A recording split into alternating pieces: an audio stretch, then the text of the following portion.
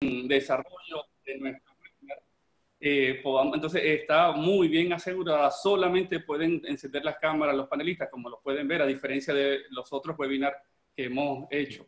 Entonces, por eso, pero la limitación que tenemos es que solo tenemos para 100 participantes. ¿sí? Sé que hay muchos más, les reiteraba, poco para se la profesora Ana Teresa, hace media hora estaban 976 personas inscritas en este webinar. Entonces, por eso, además de transmitirlo por Zoom, lo estamos transmitiendo en este momento directamente por YouTube con el canal de la Escuela de Psicología que es Psicología UCAP. Ahí nos pueden encontrar.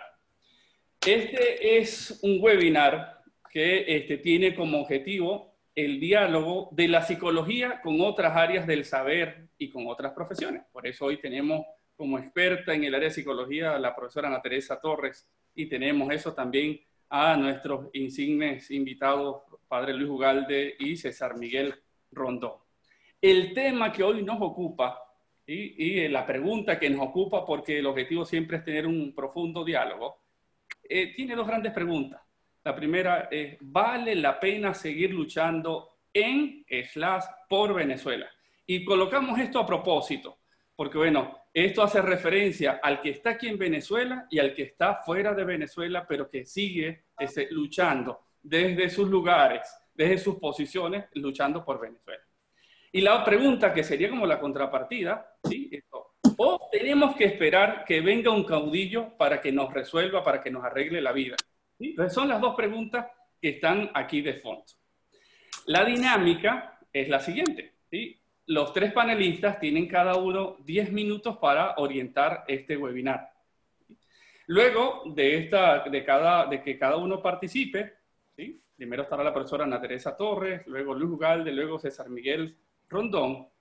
Este, tendremos entonces la sesión de preguntas y respuestas. Entonces tendremos eso, unos 50 minutos que podamos hacer, es tener este diálogo.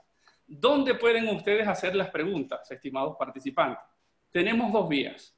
Los que se encuentran aquí en Zoom pueden, en la etiqueta que está en la parte de abajo de preguntas y respuestas, allí nos hacen las preguntas. Yo tengo a mi equipo, a mi excelente equipo de la Escuela de Psicología, junto con otros colaboradores, que son los que están recogiendo todas las preguntas, me las envían y yo se las voy haciendo a todos ustedes. La segunda opción para los que se encuentran en este momento en YouTube, utilicen el chat que se tiene en el canal de YouTube Psicología UCAP Allí nos hacen las preguntas y eso, el equipo estará recogiendo todas las preguntas que ustedes quieran hacer para entonces poder tener esta sesión. ¿sí? Entonces, esa es la dinámica. Eh, primero, un poco el compartir de estos tres panelistas y luego entonces vienen las preguntas. ¿Con quiénes nos encontramos? Hoy tenemos el gusto de tener a tres panelistas profundamente reconocidos y aquí hablo yo creo que en nombre de los venezolanos, ¿sí? donde nos sentimos orgullosos por sus doradas trayectorias en nuestro país.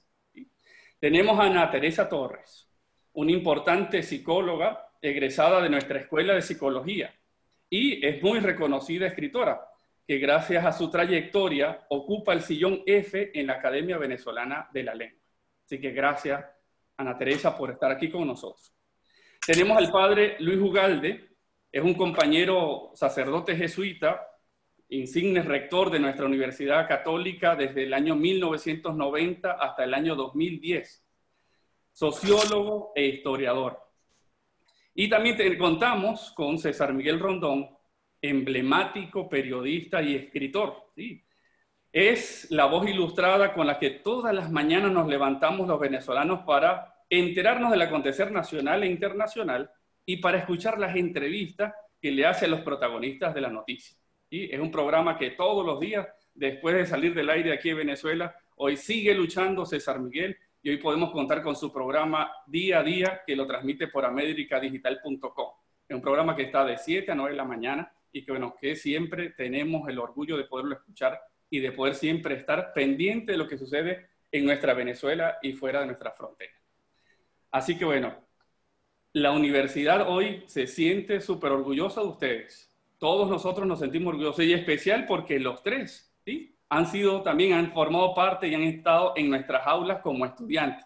Así que bueno, el orgullo se amplía.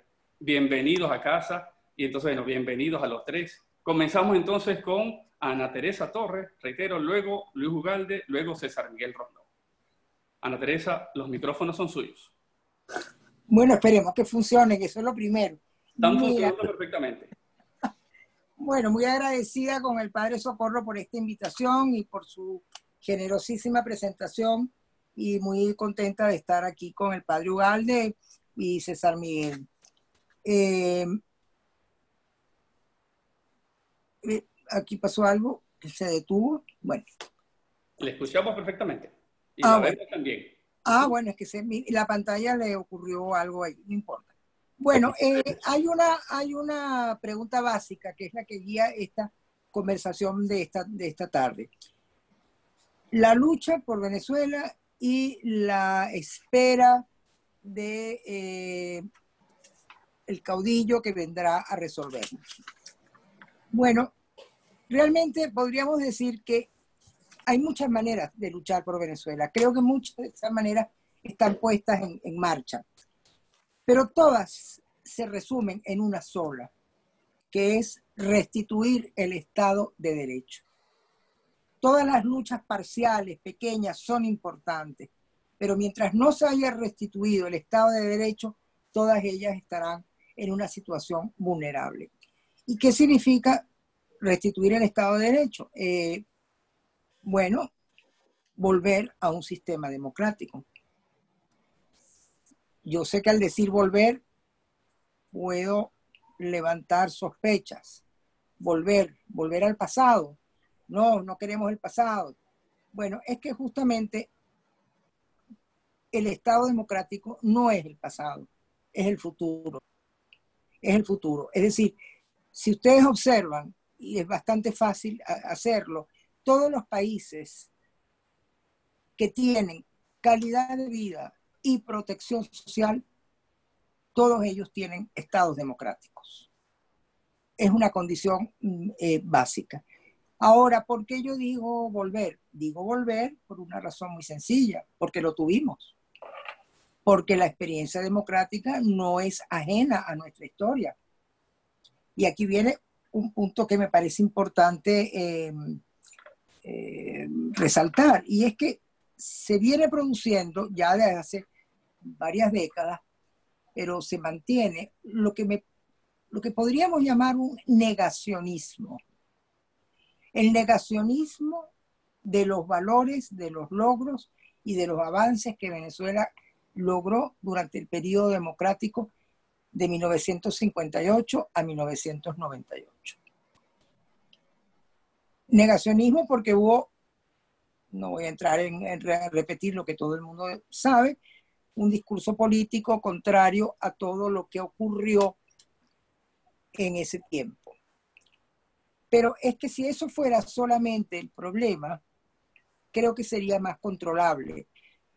Es que creo que hay algo en, nuestra sociedad, algo que podríamos llamar como una suerte de espíritu eh, nihilista, de espíritu de negación de los valores eh, que podemos obtener, que podemos generar, no porque haya líderes o mucho menos caudillos que los sostengan, sino porque la propia sociedad tiene una ética y puede generar la confianza y el valor de las potencialidades.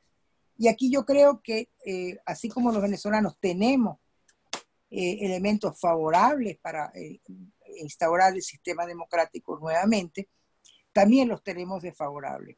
Y ese espíritu nihilista de que todo era muy malo, todo es una porquería, no servimos, todo lo hemos hecho mal, eso creo que justamente es un factor, es un factor psicosocial, porque no, no es algo tangible, está en lo que llaman, podríamos llamar el imaginario, pero está dentro nuestro de alguna manera. Y eso es lo que nos lleva, nos ha llevado mucho a la búsqueda del, hombre providencial. El hombre providencial es el que va a lograr todo eso que nosotros como sociedad, como seres anónimos, como simples ciudadanos, no somos capaces. Tiene que llegar alguien que tenga el, superpoder de hacer, eh, de hacer ese, ese milagro. Yo creo que allí nosotros tenemos un trabajo que es parte de la lucha, es parte de la lucha hacer, eh, combatir ese negacionismo, pensar que durante el periodo democrático, le guste o no le guste, a quien no le guste, se produjeron avances fundamentales en todas las áreas de la vida venezolana. Se lo digo yo y creo que César Miguel y el padre Ugalde se lo podrán decir también porque lo hemos vivido.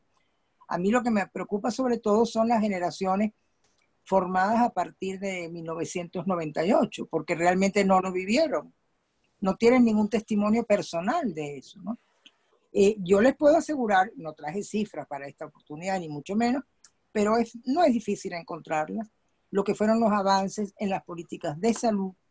Yo trabajé en hospitales públicos, en hospitales que dependían del entonces Ministerio de Sanidad y Asistencia Social.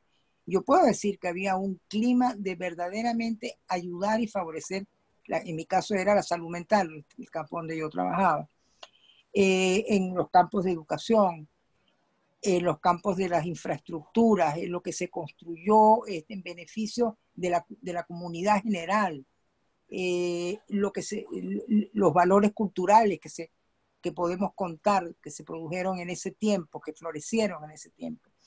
Allí hay una riqueza cultural y una riqueza no solo económica, que obviamente estaba sustentada en, el petróleo, eh, sino una, una, reserva histórica con la que contamos a la hora de poder eh, acometer esta vuelta al Estado de Derecho porque nosotros lo tuvimos, no olviden esto, no es como algunos países que nunca lo han tenido. Nosotros lo tuvimos y esa es una reserva moral que tenemos y que tenemos que cultivar. Porque la democracia no es un, no es un estado permanente, los, los países y los pueblos la tienen, pero también como la tienen la pueden perder, como nos ocurrió a nosotros. Pero así mm. como la perdimos, también la podemos volver a ganar. Ese por el momento lo que quisiera dejar ahí en la mesa y después podremos volver sobre otros detalles.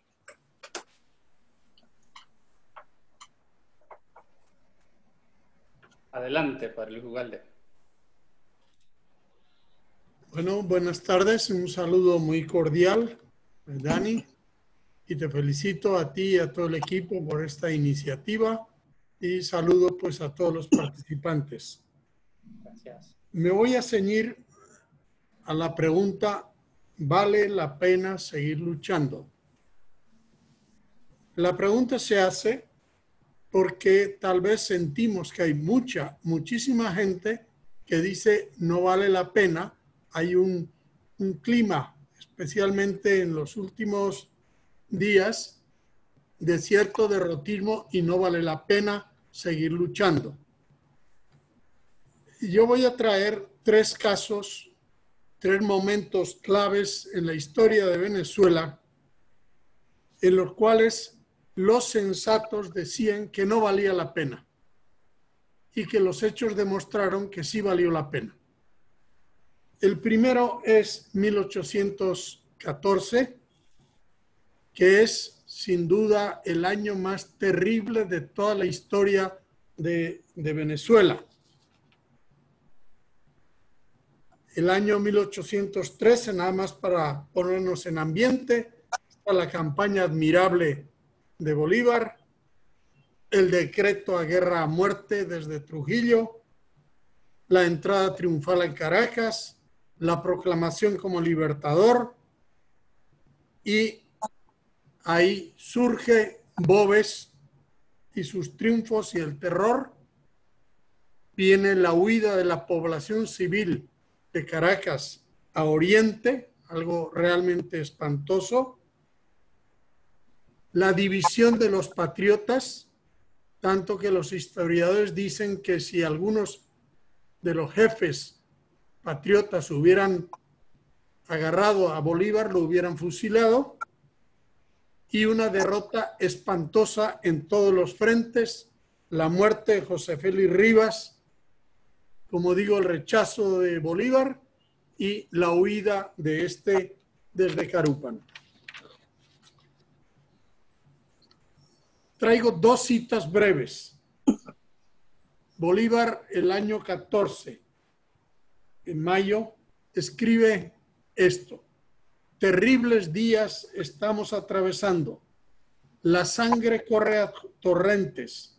Han desaparecido los tres siglos de cultura, de ilustración y de industria. Por todas partes aparecen ruinas de la naturaleza o de la guerra. Parece que todos los males se han desencadenado sobre nuestros desgraciados pueblos. Después, eso es en mayo, ese mismo año, la situación va empeorando y está el manifiesto de Carúpano, que es realmente terrible. Y Bolívar siente el rechazo y la crítica de la población hacia él como líder que es culpable de todo lo que está ocurriendo. Y dice en ese manifiesto que siente y sufre el profundo pesar de creerme el instrumento infausto de sus espantosas miserias. Creo que, la gente me echa la culpa y en cierto modo, pues eh, yo la siento así. Y expresa el dolor y también la rabia de que vuestros hermanos y no los españoles han desgarrado vuestro seno, derramado vuestra sangre, incendiado vuestros hogares y os han condenado a la expatriación. Somos derrotados por nuestros compatriotas que pervertidos han fallado contra nosotros. Esa es la situación interna peor imposible.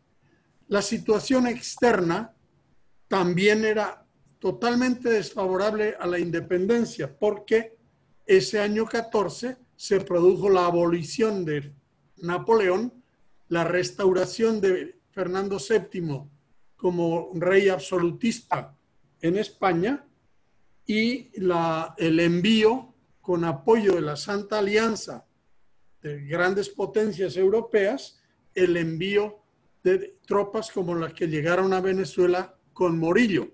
De manera que si internamente no había esperanza, había menos esperanza externamente. Cualquier sensato hubiera dicho, bueno, España va a restablecer el dominio en toda América y de hecho Morillo al año siguiente llegó a Venezuela y avanzó mucho en esa dirección. Por tanto, lo lógico era decir, bueno, no vale la pena, usted Bolívar agarre sus, sus reales y váyase a París, que aquí no hay nada que hacer. Bueno, pues Bolívar hizo todo lo contrario y en el mismo manifiesto dice que en esa terrible oscuridad él va a seguir luchando, pues jamás la libertad ha sido subyugada por la tiranía. Y yo os juro que libertador o muerto y les promete, regresaré con apoyo del pueblo neogranadino y el año 1816, con tropas españoles como no había habido nunca aquí, cambió el signo de la guerra y realmente la independencia se impuso de manera creciente. Pero los sensatos hubieran dicho, no valió la pena. Menos mal que algunos creyeron que sí valió la pena y gracias a eso la independencia se volvió en una realidad. Segundo capítulo mucho más breve. Muerte de Gómez en 1935 con la oposición perseguida en la cárcel, en el exilio, etc. Muere en diciembre y, e inmediatamente asume el poder su ministro de la Defensa. Entonces, lo lógico también y lo prudente era decir, bueno, aquí no hay nada que hacer, busquémonos la vida fuera del país, porque el régimen omnipotente y militar ha puesto a su ministro de defensa y aquí no hay nada que esperar. Bueno, para sorpresa de estos prudentes, antes de una semana, López Contreras, que es el ministro de la Defensa, ahora presidente, decreta la salida de los presos de la cárcel, el regreso de los exiliados y la oposición en una situación tan desfavorable, sin embargo, se moviliza y tres meses después, mejor dicho, dos meses después, en, en febrero, hay una manifestación monstruosa en Caracas. El mismo López Contreras tuvo que recibir a, los que la encabezaron, como Jovito Villalba. Se habla de 30 mil personas, que para aquella Caracas es un, una cantidad increíble.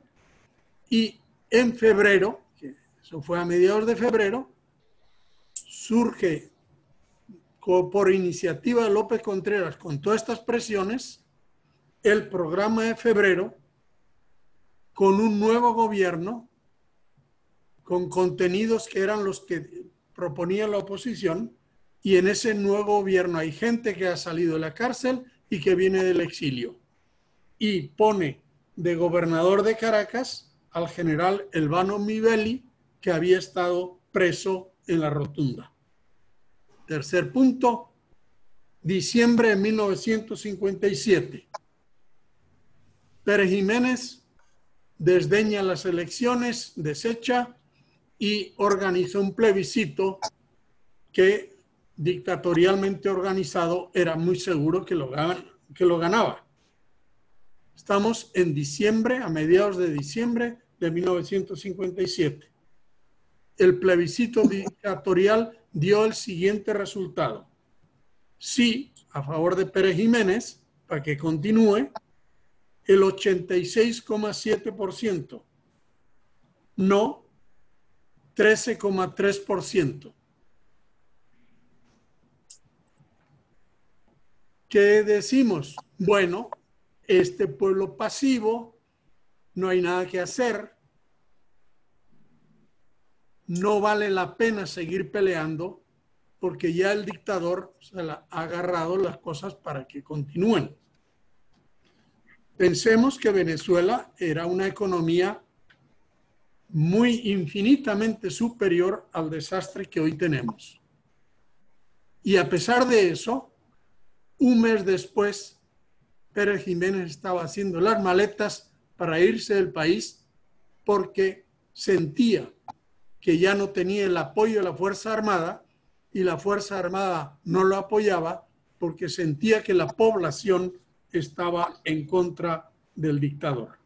Entonces pongo estos tres casos en los cuales muchos de los prudentes de hoy hubieran dicho no vale la pena y valió la pena de tal manera que son momentos que cambiaron la historia de Venezuela para bien.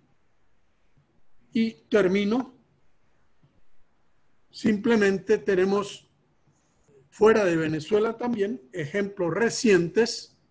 Bolivia gana las elecciones Evo Morales dictatorialmente también. Seguramente dijeron, bueno, ahora tenemos 10 años más y a la semana estaba escapándose del país.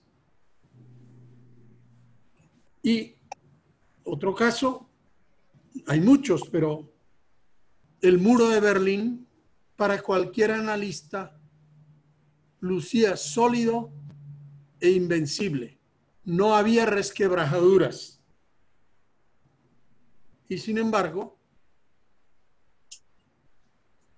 eso que un mes antes ningún analista serio hubiera previsto, el muro de Berlín cayó y con él cayó pues todo el bloque soviético, por razones distintas naturalmente. Ahora no estoy analizando las razones, sino estoy analizando cómo. Lo que a uno en, la noche oscura de la depresión le parece que no tiene ninguna salida, que es lo que algunos ven en este momento, pues yo soy muy optimista no porque ignore las dificultades, sino porque la situación que se ha creado en Venezuela es profundamente antihumana para la inmensa mayoría de la población y eso pasa factura, aunque el régimen trate de sustituir con la mentira los hechos inhumanos que estamos viviendo. Hasta llego yo en esta primera vuelta. Gracias, Luis. Bueno, ahora adelante, César Miguel. Estamos teniendo unos problemas técnicos con YouTube y ya en minutos debe ya de estarse resolviendo. Así que paciencia para los que por favor no se han podido conectar. Bueno, en primer lugar quiero agradecer a, agradecerte, Dani, la, invitación y a todos los amigos de la, de la Escuela de Psicología de la UCAP. Y pues, qué decir, estoy honradísimo de compartir esta mesa con dos personas que quiero y admiro mucho, personal y profesionalmente, como son Ana Teresa Torres y el padre Luis Ugalde. Preparé unas, breves palabras, ¿no? A manera de introducción, porque sé que lo interesante en estos casos es lo que viene después. Eh, al convocarme con dos preguntas, yo dije, bueno, pero estas son dos preguntas retóricas. En la escuela de filosofía nos decían que eran aquellas preguntas que no tenían que responderse, porque la respuesta la sabía todo el mundo y se hacían sencillamente como un recurso del lenguaje, de la conversación. ¿Vale la pena seguir luchando? Sí, siempre. Eh, 560239 que es el último que me llegó ya. A ver. Sí, eh, ¿vale la pena seguir luchando? Sí, eso. Eso lo dicen hasta los despechados más despechados del mundo. ¿Cómo no? Algún día la voy a conquistar de nuevo. Y a ver, ¿me, ¿me, oyes? Dani, te estoy oyendo yo a ti. Perdón, adelante. ¿Ya? Ok. ¿Me oyeron lo anterior? Eh, lo de las preguntas retóricas. Bueno, la otra pregunta que me resulta completamente retórica, ¿tenemos que esperar a que venga un caudillo? No, por supuesto que no, ¿para qué vamos a esperar un caudillo?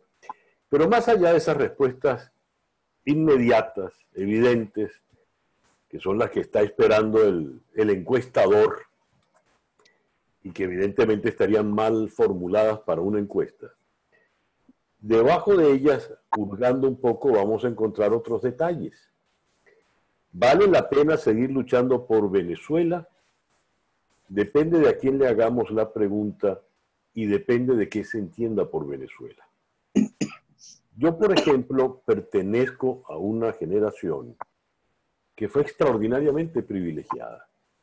Mi generación vivió la mejor Venezuela. Mi generación vivió plenamente la democracia. A mi generación, la lucha de guerrilla, la lucha de la dictadura perejimenista y la lucha de guerrillas le pasó de costado prácticamente. Y vivimos cómo creció un país democrático, un país que celebraba elecciones de una manera festiva y alegre, donde todo el país participaba. Primero votar era un derecho y un deber y entonces estabas obligado a ir a votar pero después eso se suspendió y la gente seguía masivamente celebrando sus fiestas democráticas. El país que todos conocemos ahora de la altísima movilidad social, el que era hijo de un modesto obrero criado en Antímano, sabía que podía tener eh, un título universitario que lo iba a llevar al este de la ciudad a vivir y criar a sus hijos cada vez mejor. Era un país absolutamente aspiracional.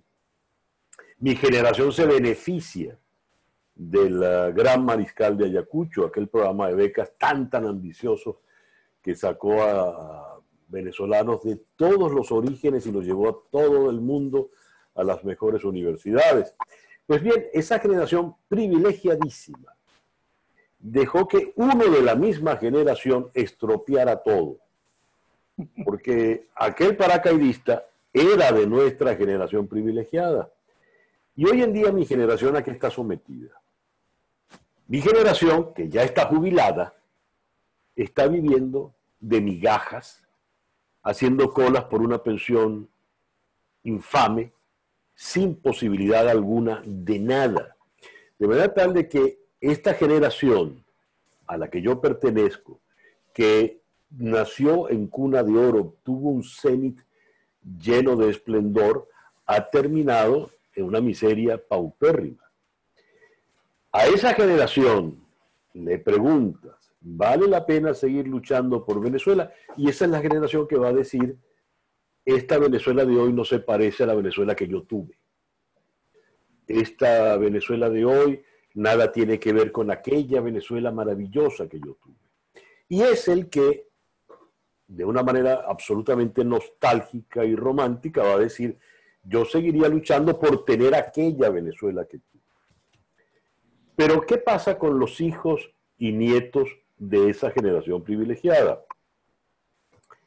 Por ejemplo, los que vinieron después, buena parte de venezolanos en sus 30 años, tienen una experiencia crucial hecha en la dictadura de la revolución eh, bolivariana. Un niño que a los 10, 12 años le llega a Hugo Chávez y que hoy está cercano a los 40, tiene una imagen de Venezuela muy peculiar, muy extraña, porque vive entre la historia bucólica y hermosa que le cuentan, existió, y vive entre esa cosa extraña y degradante que él le tocó vivir. Y buena parte de esta población de venezolanos, con iniciativa y formación universitaria, es la que ha decidido emigrar. La pregunta para ellos, ¿usted eh, decide luchar por Venezuela? Esa Venezuela de esa generación, evidentemente, es muy distinta a la de la generación anterior. Y si salimos de las consideraciones generacionales para entrar en las consideraciones socioeconómicas, tenemos también respuestas muy distintas. Eh, en los años 60 tempranos, buena parte de los cubanos acomodados en la clase media y clase alta se fueron rápido, muy, muy rápido. Además, la revolución cubana fue sangrienta y cruel desde el momento. Eh, el Che Guevara se fue a la cabaña a fusilar gente y allí acabó y fue muy drástico todo el proceso. El proceso venezolano ha sido lento, ha sido progresivo, ha sido torpe, torpe para algunos opositores, torpe para otros, pero ha sido lento. Y entonces el grueso de esa generación privilegiada, de ese sector privilegiado, ya se fue o está en tránsito de irse. Y esa Venezuela es otra muy distinta de el que está en circunstancias mm, más difíciles, más penosas. Pero ese venezolano que está en circunstancias penosas también se ha ido. El último estimado nos dice que son 5.200.000 venezolanos, redondeando números los que están fuera del país. Y buena parte de esa mayoría, de ese, de ese, de ese sector tan abrumador, se fue a pie, cruzando la frontera, casi, casi como los llaneros de Bolívar, que se fueron a pie, cruzaron los Andes y llegaron hasta Santiago de Chile. Esa Venezuela de ellos también es otra Venezuela. Entonces, ¿vale seguir la pena luchando por Venezuela? ¿De cuál Venezuela estamos hablando? Uno entiende que la respuesta siempre va a ser sí. Sí vale la pena seguir luchando porque decir no es renunciar. Y en un caso vital, la respuesta implica el suicidio. Si yo asumo, y aquí Ana Teresa podrá ayudarnos más en este tipo de reflexión, si yo asumo que se me va la vida en una gesta y digo no voy a seguir luchando, me estoy resignando, estoy clamando por la muerte, estoy clamando la eutanasia, ya yo estoy desahuciado. Y esa no se da. La otra pregunta, tenemos que esperar a que venga un caudillo. En buena ley todos vamos a decir, no, no vamos a querer el caudillo, pero miren cómo estamos clamando por él. En estos momentos de desamparo, en nuestro nuevo caudillo es un gordo de setenta y tantos años que come hamburguesas, es catire y vive en la ciudad de Washington. Entonces apostamos todo a que el señor Donald Trump desde Washington venga a resolver todo el problema que tenemos nosotros y hasta ha surgido ahora un grupo de trompistas venezolanos que se oponen a Biden y ninguno vota en Estados Unidos. Imagínense ustedes el disparate mayúsculo en el cual estamos involucrados. En el fondo, pareciera que sí solicitamos caudillos. Solicitamos a alguien que nos haga el trabajo, alguien que nos agarre de la mano y nos diga es por aquí. Yo prefiero confiar en, eh, en el venezolano de bien, que entiendo es mayoritario. Los países, los pueblos, saben a quién seguir, saben qué figuras emular. Yo quiero cerrar esta, esta primera reflexión, porque ya me, ya me pasé de tiempo, citando, llamando la atención de ustedes, por favor, sobre un punto muy singular y si quieren caprichoso. ¿Cuántos marcos evangelistas conocen ustedes? Creo que ninguno. Excepto aquel que nació en Michelena y fue dictador del país. ¿Cuántos Hugo conocen ustedes en estos tiempos actuales? Pues creo que muy pocos también. Sin embargo, ¿cuántos José Gregorio conocen? Uf. Todos los días hay más José Gregorios que Wilexis. Claro, me van a decir, por supuesto, porque José Gregorio hace milagros. Sí, pero José Gregorio es un santo, perdón, que la Iglesia Católica es lenta, todavía no es santo.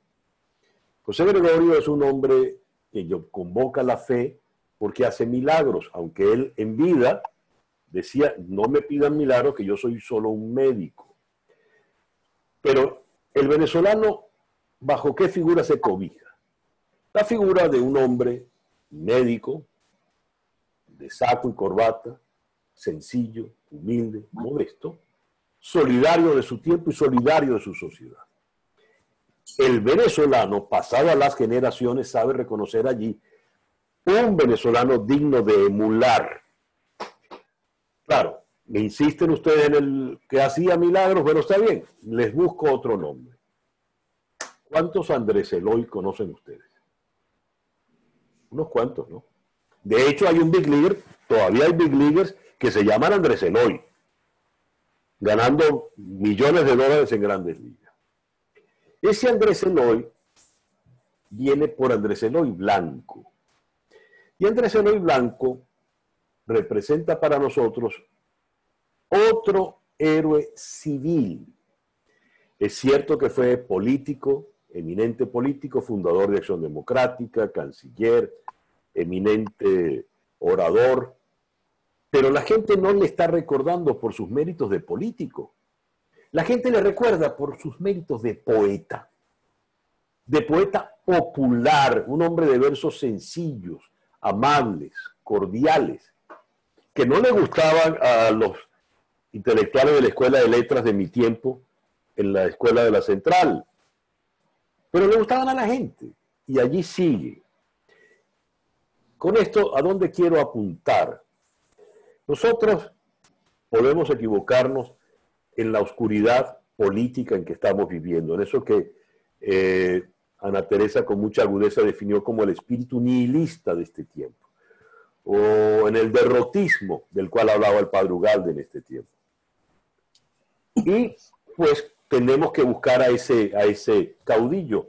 No, pero el pueblo, el pueblo de verdad, el pueblo venezolano ese que llaman de aquí, puede intuitivamente, mayoritariamente, buscar el cobijo, la luz de los venezolanos de bien, por alguna extraña razón siempre civiles, humildes y modestos, que son los que nos pueden ayudar.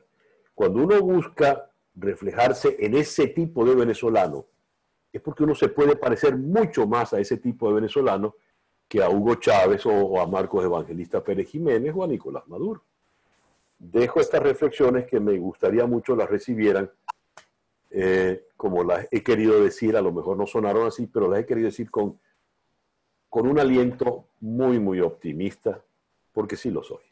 Gracias. Gracias, César Miguel. Vamos entonces, iniciamos la, la sesión de preguntas y respuestas. Ya por fin pudimos activarnos por YouTube. Hemos tenido problemas técnicos, pero ya estamos transmitiendo directamente desde YouTube. Para la profesora Ana Teresa, dice, muchas veces en la reflexión percibo que la sociedad venezolana es una sociedad muy adolescente. Sus acciones y reacciones parecieran estar llenas de mucha inmadurez y emociones propias de una adolescente como la rabia. Entonces ahí viene la pregunta. ¿Cómo podemos lograr dar un paso a la adultez y asumir acciones más responsables? ¿Creen que estemos en un proceso de cambio en este aspecto? ¿Quieres que comente sobre esta pregunta? Sí, sí, sí, sí, sí. Esa es la... Bueno, eh, fíjese, eh, no, no recuerdo, recuerdo el nombre de la persona que la, que la formuló, eh, pero con todo respeto, yo quisiera decirle que, que no creo que está en lo cierto. No creo que la sociedad venezolana es adolescente, inmadura, que no ha llegado a ser adulta. Creo que eso es, sé que se ha dicho mucho, sé que, que no es un, lo que lo escucho hoy por primera vez, pero yo creo que, que no está allí verdaderamente el, el, el, meollo del problema. Creo que el meollo del problema está en lo que mencionaba por un lado César Miguel, eh, un país aspiracional, un país que en un momento dado pensó que podía tenerlo todo y un país al que todo eso se le cayó en caída libre. Entonces, eso creo que dejó una sociedad, yo diría traumatizada, yo diría traumática.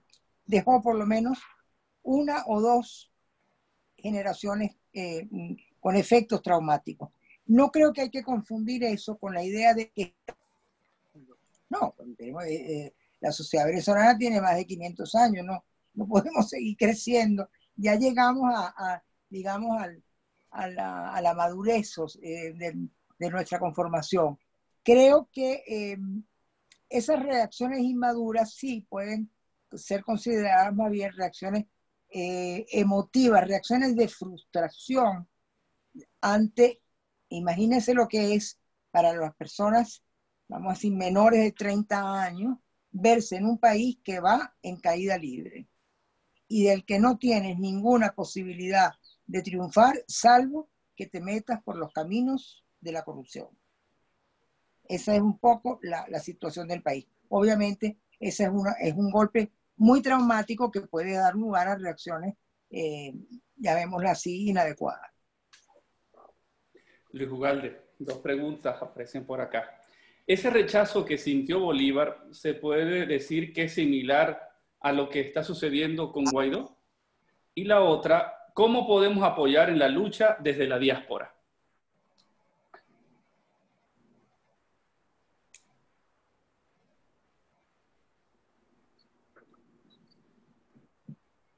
Luis, tienes el micrófono apagado.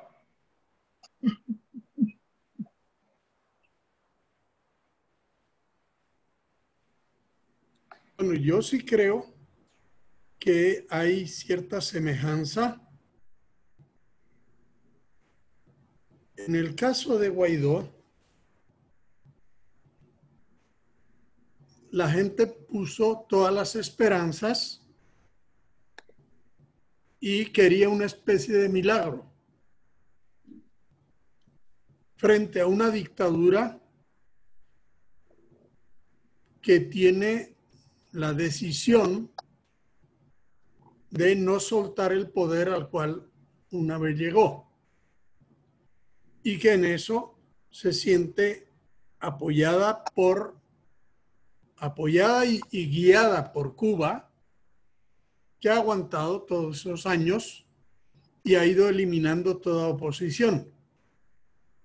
Y entonces la, una esperanza un tanto mesiánica en cualquier líder de la oposición, porque él me va a sacar de esto, cuando no se cumple, entonces genera una agresividad hacia ese líder que no cumplió, que no cumplió mis expectativas.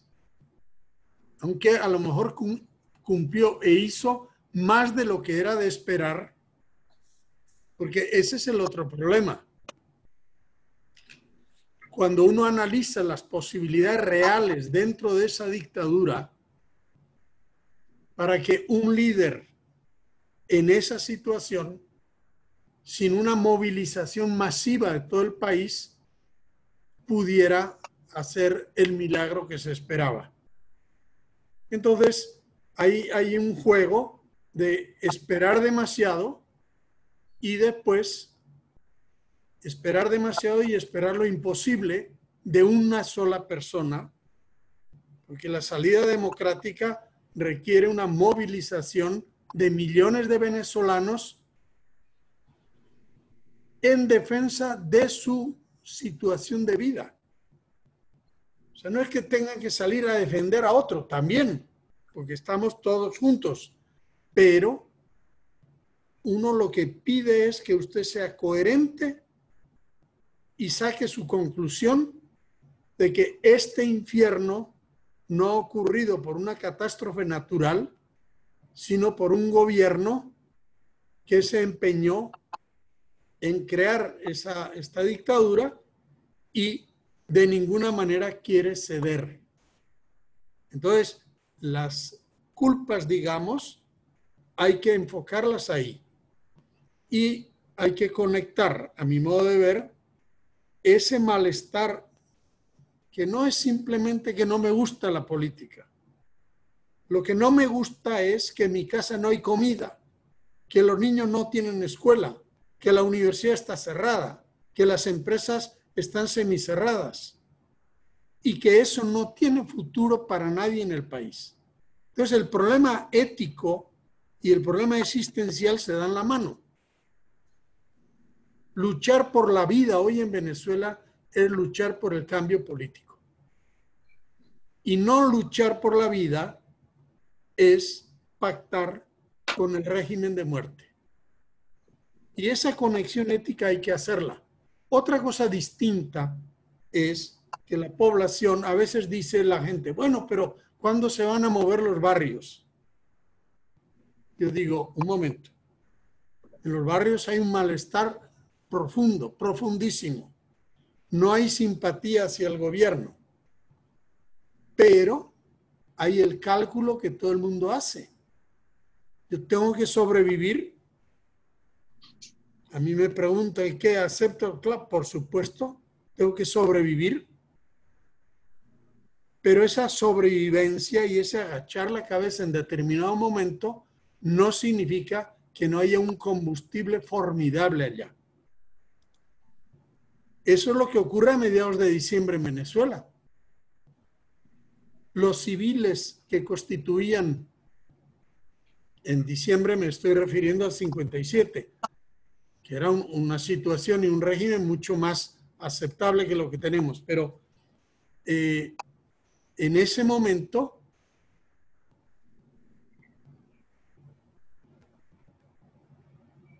los que constituían la Junta Patriótica no sabían del movimiento de los militares. Los grandes líderes de los partidos no sabían quién era la Razábal. O sea, hay una serie de elementos que cada uno tiene su propio malestar, cada uno se tiene que cuidar, pero llega un momento en que todo junto se condensa. Y cuando ocurre eso, bueno, el dictador agarra el avión y se va. Y después viene todo el tema de la reconstrucción, que ahora sería también muy complicado. Y afortunadamente la Razábal acertó en el proceso de democratización.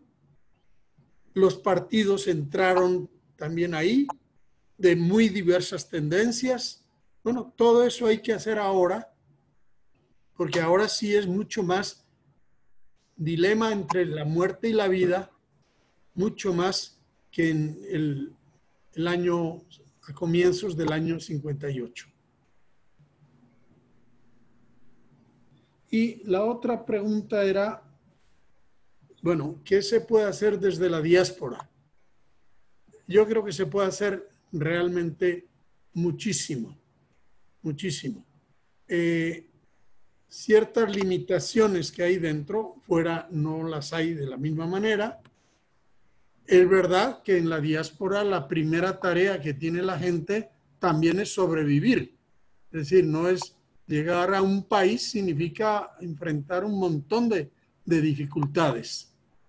Pero al mismo tiempo, yo creo que el que en cada ciudad se vayan formando núcleos de reflexión, núcleos de pequeña acción, etcétera, eh, tiene una enorme importancia, porque son esos los que le van a hablar a esos 50 países, que son más de 50, pero pongamos 50, que quieren la democracia en Venezuela.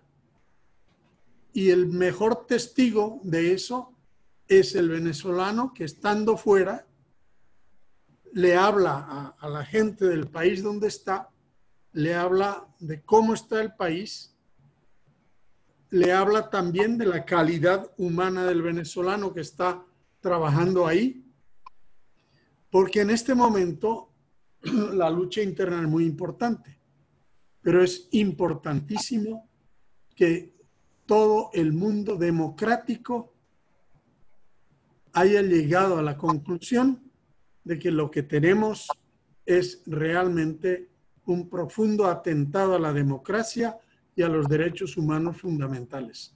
Esa convicción interna y externa se tienen que dar la mano y el gran reto para los líderes políticos es que efectivamente ninguno de ellos aparezca como un estorbo, como alguien que está en ese drama tan tremendo alguien que está en la pequeñez de estar cultivando su propia estatua.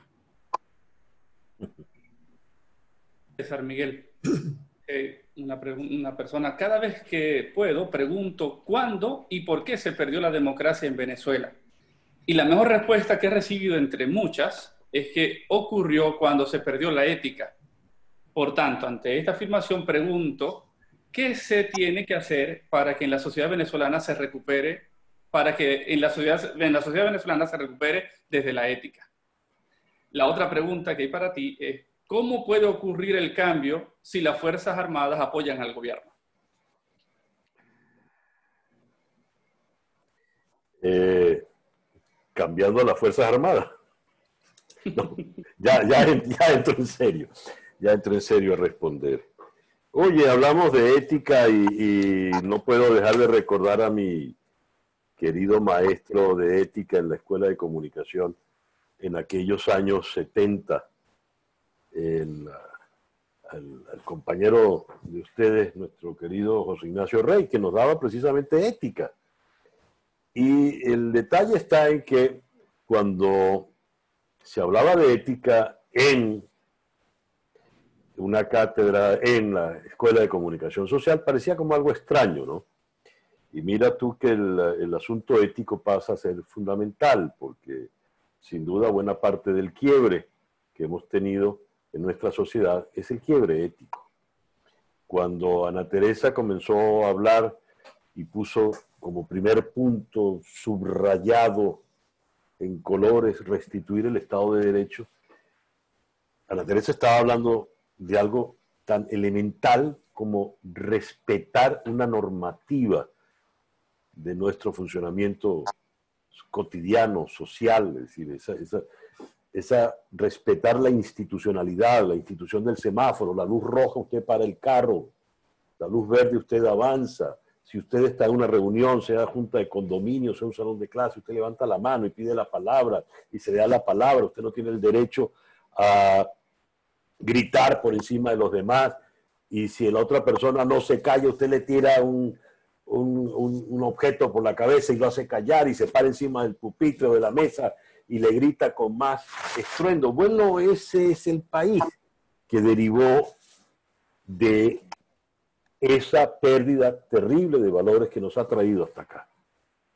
Cuando hablamos de los años de la democracia, evidentemente, hablamos de años de mucho esfuerzo, sobre todo los primeros cinco lustros, fueron lustros importantísimos de consolidación, eh, se hicieron hospitales como nunca se habían hecho en el país, escuelas como nunca se había hecho en el país, la educación pasó a ser una prioridad fundamental, universidades como nunca se había hecho en el país.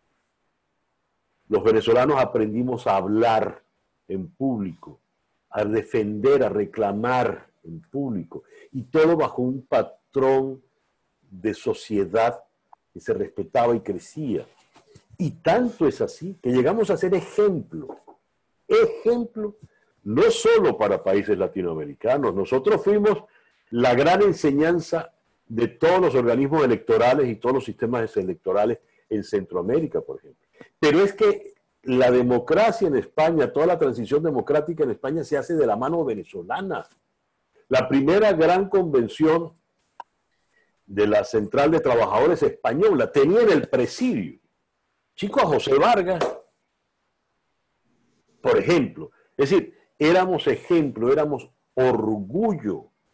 Al Hospital Pérez Carreño venían a ser doctorados médicos de toda América Latina en las disciplinas más sofisticadas.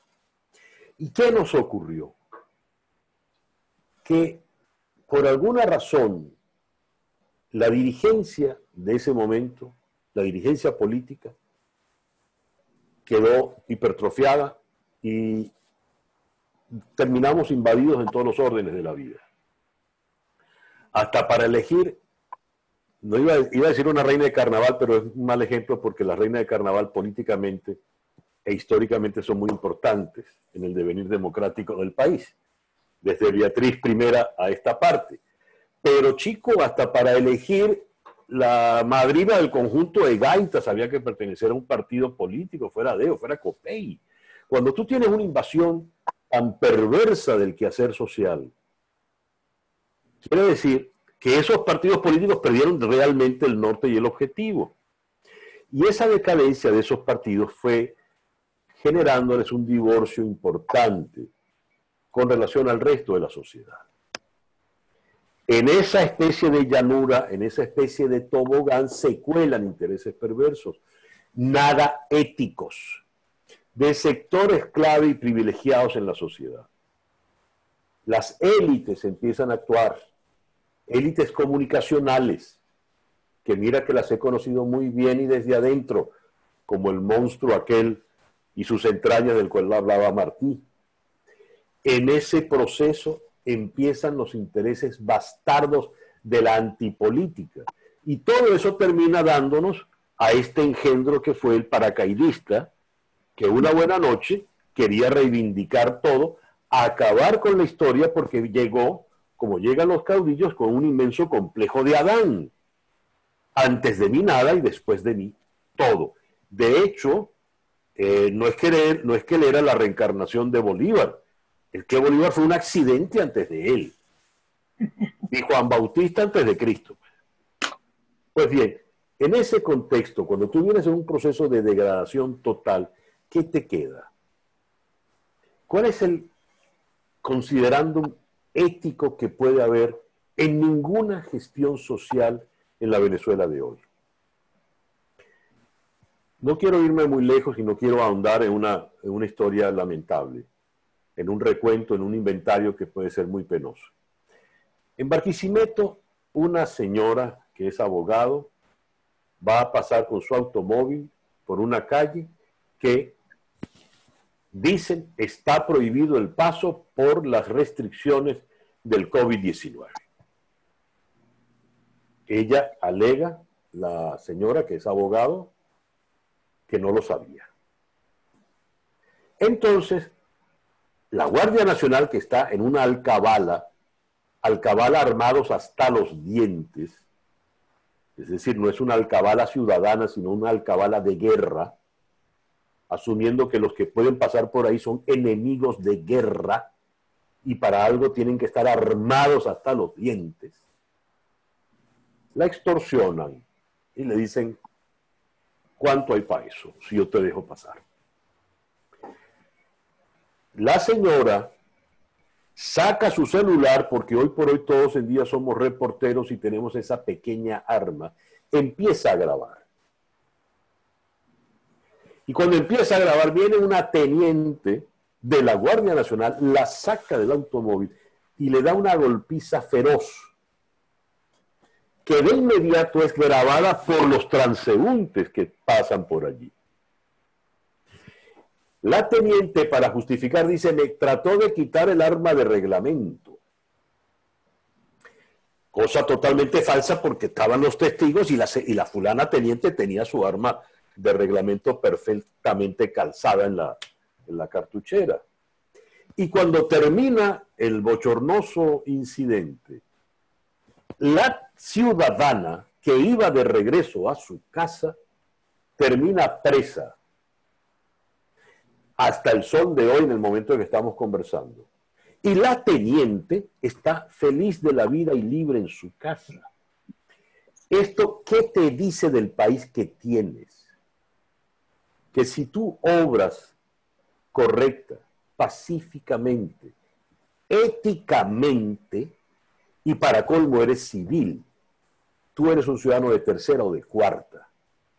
Si tú obras abusivamente, cruelmente y además eres militar y estás armado, tú siempre vas a tener la razón. Esa es una perversión ética inmensa. Y a esa perversión ética se llegó por la destrucción total de todas nuestras instituciones. Quizá el desprecio que hoy en día se vive por la educación, por la educación en todos sus niveles, y sobre todo el universitario, es porque los que nos están gobernando jamás tuvieron el deseo siquiera de acceder a un aula universitaria.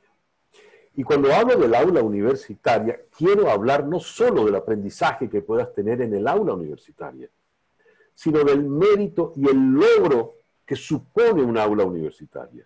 Cuando yo estaba en las aulas de la Escuela de Comunicación Social de la Universidad Católica, en aquellos años 70, yo tenía compañeros que eran militares activos, coroneles, tenientes coroneles y generales, que entendían, los militares de aquel, de aquel tiempo, de hace 40 años, que la vida a perpetuidad social era la vida civil, no la vida primitiva del siglo XIX, que es la vida que nos ha tratado de imponer esta desgracia que llaman el chavismo. Yo no sé si eso responde a esa pregunta, o ambas preguntas, porque también colea ahí un poco a la Fuerza Armada. Gracias, Miguel. Bueno, le pedimos a todos los participantes que tanto en el chat de Zoom como en el chat de YouTube hay un formulario de Google Form en donde, bueno, ahí le hacemos una serie de preguntas. Primero, un poco cómo, cómo evalúan este espacio y segundo, temas que ustedes proponen, ponentes que ustedes, o panelistas que ustedes quieran proponer para más adelante, y si se quieren seguir informando para poderle enviar todas las invitaciones para los próximos webinars. El próximo jueves a las 3 de la tarde, jueves 2 de julio, vamos a tener el tema que nos va a, guiar en esta conversación es, ¿son ciertas las estadísticas en Venezuela del COVID-19? Y en torno a ella también o es una mera excusa por la falta de gasolina o para que la OMS nos brinde ayuda humanitaria, ¿no? Yo te pregunto, bueno, ¿cómo cuidarnos ante todo esto? Estarán con nosotros, de panelista, el doctor Julio Castro, quien es médico infectólogo, gran conocedor y que ha estado eso, de, de puntal en todo lo que supone este tema en nuestra Venezuela en este momento. Junto con él va a estar el profesor Gustavo Peña, quien es vicerrector académico de nuestra universidad es un psicólogo experto en estadística y todo lo que es psicología conductual. Y la tercera panelista va a ser la profesora Luisa Angelucci, quien es directora del Centro de Investigación y Evaluación Institucional de la UCAP. También es experta, es psicólogo, experta en estadística y experta en psicología social y de la salud. Así que para la próxima semana, a esta misma hora, por Zoom y por YouTube estaremos transmitiendo. Esperemos que la próxima semana los problemas técnicos de YouTube no se, no se repitan y que bueno, que ahí podamos todos poder este, estar pendientes y poder participar. bueno, como ya estamos cerrando, ya nos queda poco tiempo y muchos de ustedes tienen ya compromisos posteriores, por eso hay muchas más preguntas, pero hay una pregunta que es para todos. Y con esto cerramos. Comenzamos Ana Teresa, Luis Galde, César Miguel. Dice, ¿cuál es el tesoro por el cual debemos luchar y cultivar en nuestro país? ¿Sí? ¿Cuál es el tesoro por el cual debemos luchar y cultivar en nuestro país? Así que, Ana Teresa Torre, adelante. Bueno, eh, yo creo que eh, Luis Ugalde dio la respuesta, yo lo anoté por aquí porque la frase me, me, me, dio una gran claridad. Luchar por la vida en Venezuela es luchar por el cambio político. Y eh, luchar por el tesoro de una sociedad es supervivencia. Es que permanezca en el tiempo y que, me, y que permanezca mejorando en el tiempo y sobreviviendo. Ese es el único tesoro que tiene una, una sociedad. Así que eh, eh, remito a las palabras de, de, Ugalde, luchar por eso es también luchar por el cambio político. Luis Ugalde. Bueno, también alguna una idea sobre eso es si había duda o quizá la habíamos perdido de vista. Se le fue el, audio a Ugalde, o al menos yo lo, yo lo dejé de oír. Sí, se le fue el audio. Ajá. ¿Ahora? ahora otra vez. Ahora sí. Sí. Eh, yo creo que quizá habíamos perdido de vista en décadas anteriores, siempre hay abusos de poder pero básicamente había una cierta sujeción a un orden jurídico basado en consideraciones éticas. Lo terrible que estamos viviendo ahora es que el poder, o sea, la perversión ética de la cual antes preguntaba, preguntaban, es el poder tiende a afirmarse como absoluto puede ser de derecha o de izquierda. El poder, la primera tentación del poder es yo soy Dios. Y todos los demás son cucarachas y hormigas que yo puedo pisar. Un Dios naturalmente monstruoso. Y el tesoro fundamental que los demócratas creo yo que tenemos que combatir y cultivar en cada una de las personas. El valor supremo es la persona humana, la dignidad de la persona humana, la mía y la suya y la del otro. Y el poder no puede convertirse en absoluto, sino es un instrumento. El desarrollo económico es un instrumento. Y hay una en el Evangelio hay un, pasaje que a mí me resume mucho de lo que estamos viviendo aquí. Los apóstoles que eran unos pobres que no tenían dinero ni tenían nada, pero se pusieron a discutir entre ellos a ver quién iba a ser el más importante en el entorno de Jesús. Y Jesús los sorprendió y ellos también empezaron a pelear porque yo también quiero ser el más importante. Y lo regañó. Acuérdense que los que apuestan al poder de este mundo y cuando creen que lo tienen, convierten a los súbditos, los esclavizan.